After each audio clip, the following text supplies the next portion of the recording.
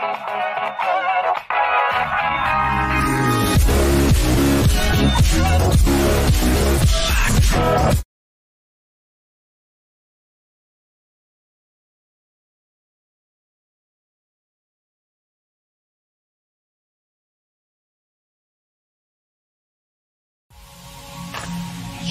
on my words, words.